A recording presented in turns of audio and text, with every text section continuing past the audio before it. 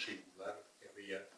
No es que la España actual no sea también bastante singular, pero, pero entonces lo era de una manera un poco distinta.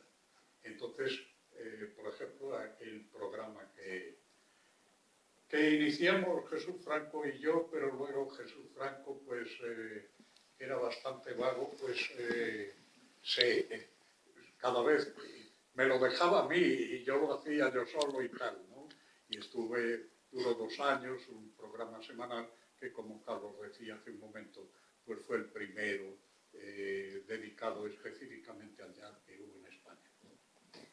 También es un experto flamenco, eh, incluso vamos a intentar entre todos al final a ver si puede cantar algo al final del coloquio si se siente bien, que de pronto nos puede arrancar con algo sorpresivo.